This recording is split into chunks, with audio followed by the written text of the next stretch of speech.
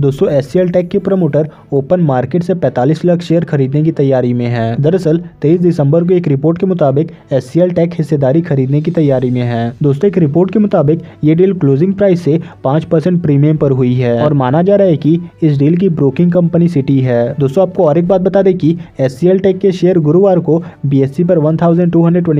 पर बंद हुए थे यानी की क्लोजिंग प्राइस से परसेंट प्रीमियम पर यह डील होगी दोस्तों इससे पहले दो को एस टेक को एवरेज गोदरेज ग्रुप के 5G engineering service peak matrix association 2021 report के पहले एडिशन का लीडर चुना गया था दोस्तों एवरेज ग्रुप का कहना है कि एस अपने ग्राहकों की 5G ट्रांसमिशन में मदद करने के लिए बेहतर पोजीशन में है और कंपनी इनोवेशन पार्टनरशिप के बेहतर माहौल और डिलीवरी के जरिए ये सर्विस मुहैया करा रहा है और दोस्तों इस खबर की वजह से एस टेक के शेयर में हमें काफी अच्छा उछाल देखने को मिला था तो दोस्तों ये थे कुछ अपडेट एस टेक को लेकर इस वीडियो में फिलहाल इतना है मिलते हैं नेक्स्ट वीडियो में